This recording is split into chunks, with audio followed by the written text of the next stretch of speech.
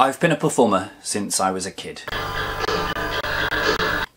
But it was only six years ago when I was diagnosed with a medical condition that I started to realise that I had more in common with these performers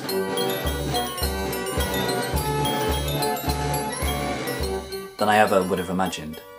This new show explores those connections and it also follows my journey